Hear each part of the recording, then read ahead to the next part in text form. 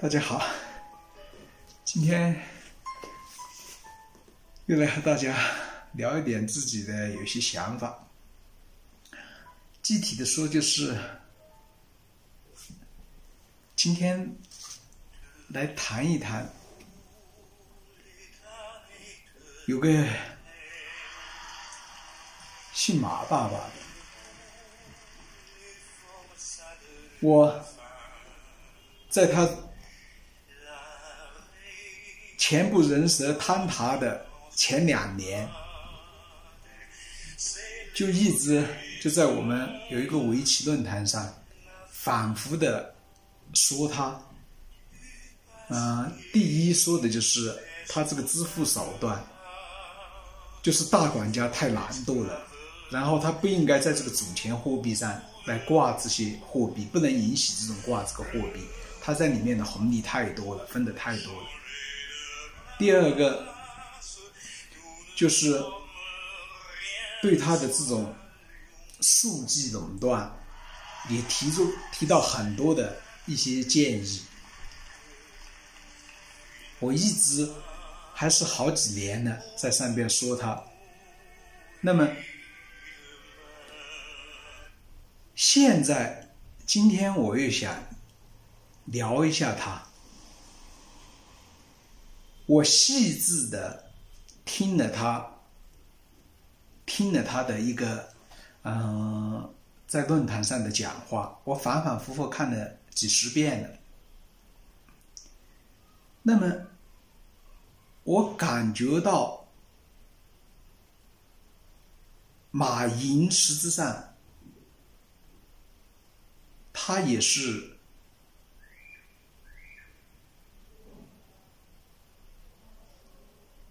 和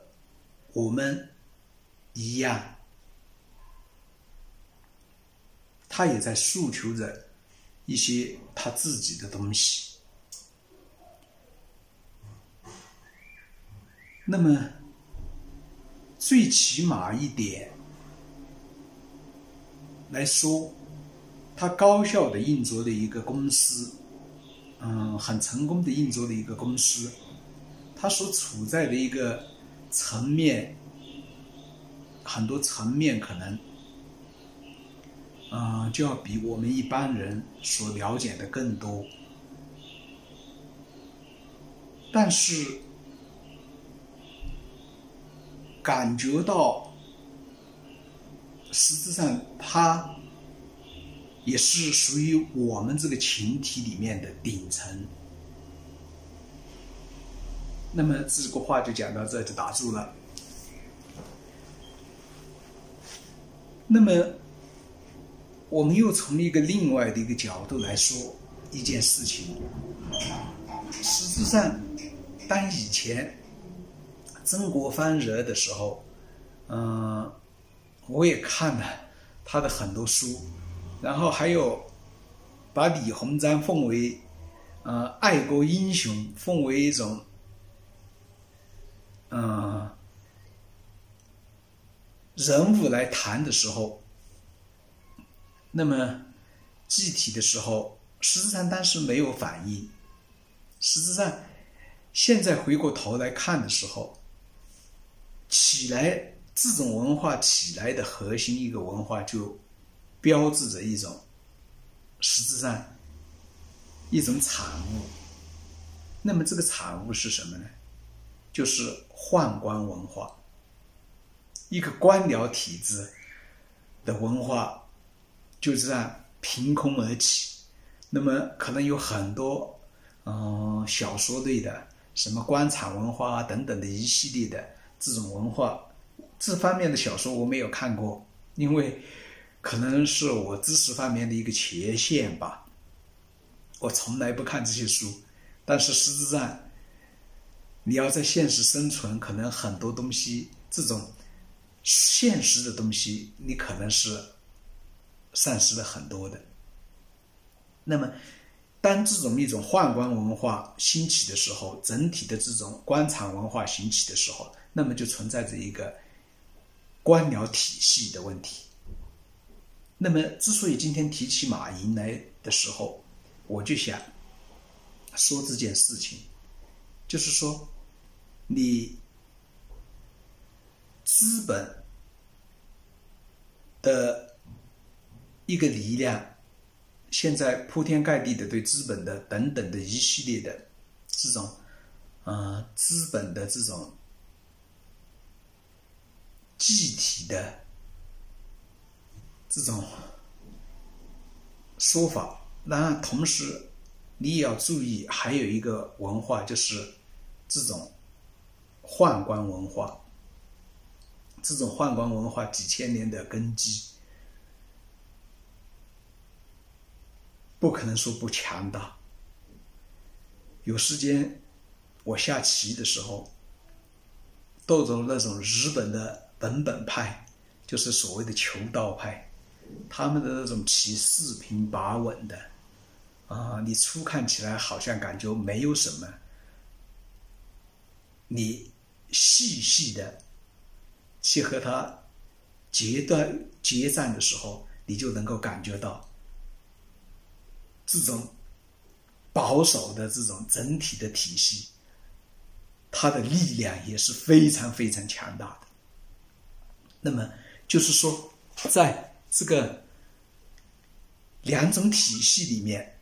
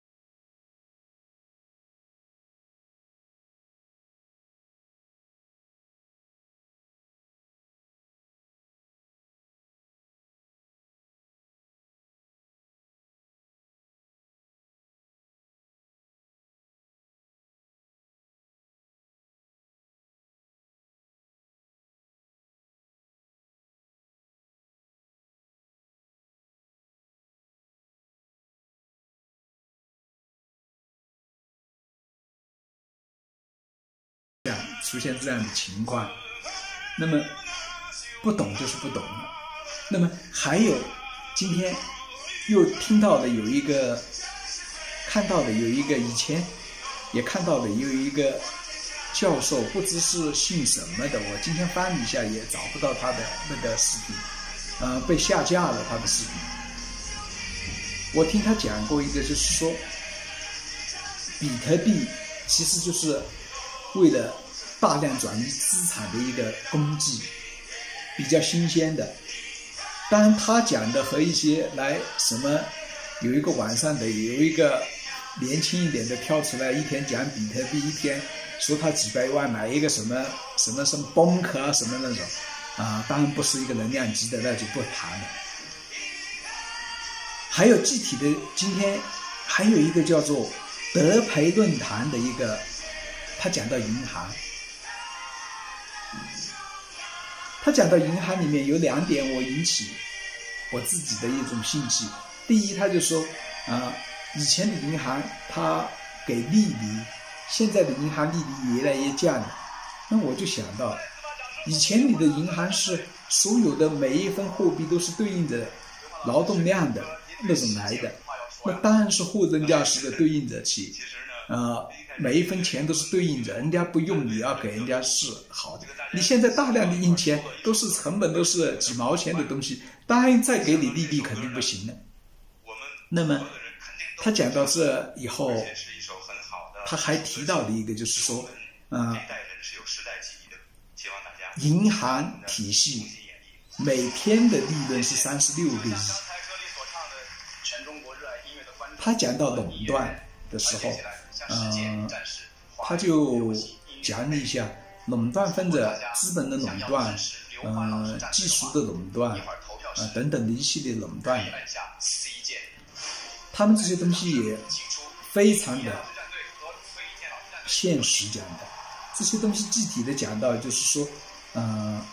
讲的这些问题以后，那么我说的意思就是说。很多在西瓜视频上能够看到很多这些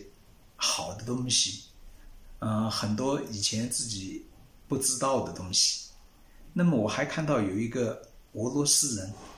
嗯，他自己就是某方面的专家，他搞了一个什么网站，就是论坛，呃，就是论文的那种网站，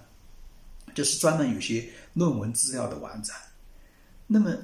我又看了一下我自己有些观看的时候。嗯，等等的一系列的那些杂七杂八的东西就会涌进来以后，嗯，我就想呢，能不能就是说有那么一个高水平一点的这样的一种，把这些高水平的这些嗯人的这些东西，慢慢的嗯，能够细心的看一下，能够有他们的专门的那些嗯。很长时间的那些呃视频，能够好好的看一下，然后看他们把东西讲透，嗯，讲深刻了以后，具体的看一下这个东西。那么我不知道有很多很多像自然，就是说你点进去以后可以看到很多论文的这些高质量的网站，因为呃自己的文化水平也不高。所以很多东西就只是片面的看这些，呃，你像一个在西瓜视频上的一个几分钟的一个视频啊，一点视频的，你想系统的看一些东西就很难。那么我就希望着有那么一个，呃，今后能够认识到这样的一个平台，能够。细心的、静静的去看一下，不要像这样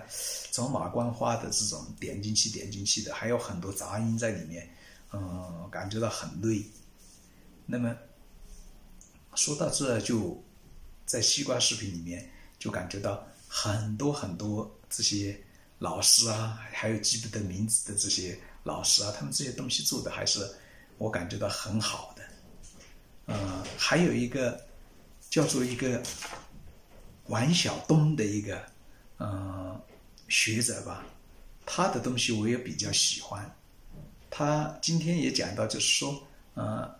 由资本控控制媒体的这种什么征求意见的时候，因为他自己说他就是个资深，就在这个媒体里面从事工作很多年很多年的人，他的说的话那种可信度是应该很高的。就是现在来到西瓜视频最好的一个，就是能够大量的从各方面的能够见到这些呃货真价实的这些呃不同的声音，呃感觉到非常的好。那么同时我也就提醒自己了，呃我因为我自己的视频吧，我也感觉到和可能他们这些制作的水平呃有很大的差距，所以。嗯，今后我自己制作视频呢，我也就不能这种啊，充六指头了。那我们的说法，我的手指头只有六个，只有五个，不能再充一个了，就不就是不能那种王婆卖瓜了。呃，还是用心的把自己的瓜种好了，把大量的时间用来看看好的这些作品，嗯，才是一个很好的事情。然后自己能够。细心的看看自己的专业，把装修能够做好做好，然后具体的事情想想我要想做的那个呃积沙成塔的那种呃事情，虽然还有二三十年的时间，但是也要用心做了。那么今天本来有一个刘欢唱的一个国际歌很好的，然后我放的时候。就像这样，呃，断断续续的，我也不知道是什么原因。就是你心心里面想着的东西，它实质上一转换一操作，在数据上它就搞得让人就是那么不舒服。那么作为结尾，我今天想讲的这个就是说，在这种。国际歌得人心的时候，在这种一种很好的一种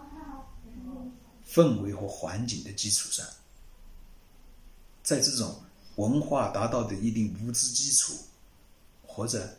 自发的大家自发的这种对整个民族复兴的这种热情底下，如果。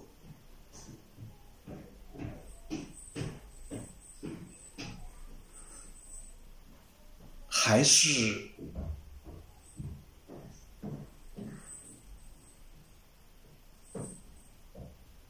就是说，一种封建的一种宦官体系，它依然没有，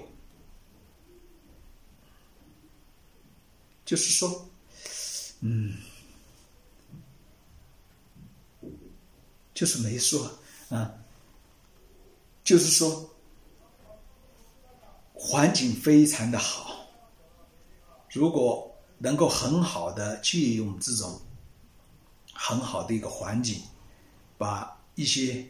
很很很很很很好的一些事情，把一些很好的体系把它理顺，那么就非常好了。如果这种条件下都不能把这种非常好的体系理顺，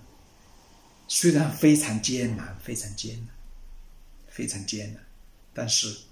如果要理的话，就很好的理一下。